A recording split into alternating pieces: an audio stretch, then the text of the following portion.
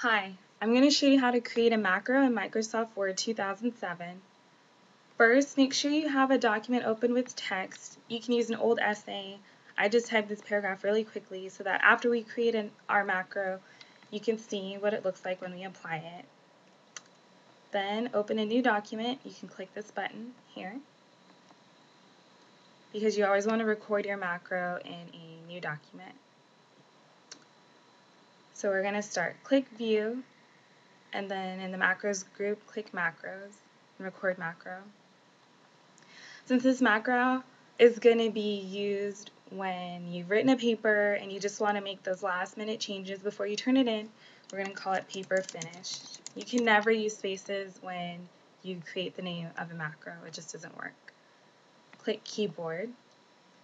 And then we want our macro to be um, activated by a shortcut.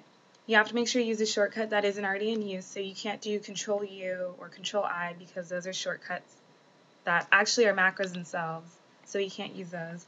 Let's do Alt I. You can make sure it's unassigned because it'll tell you that it's unassigned.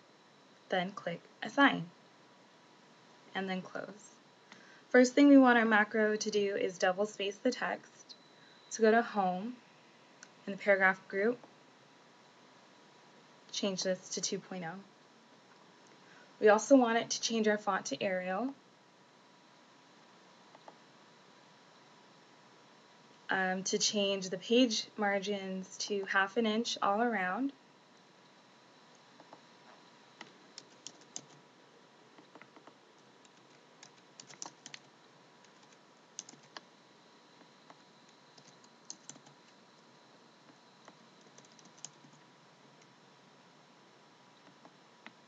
And then to spell check the document. When you're done recording your macro, you can either click this stop button here. If it doesn't appear, just go back to the View tab, the Macros group, and stop recording. Go back to your document that you had open with text. Select all the text by Control A, clicking and dragging, etc. And then apply your macro by typing in the command that you chose. We chose Alt-I. So hold Alt, click I, and there's your macro.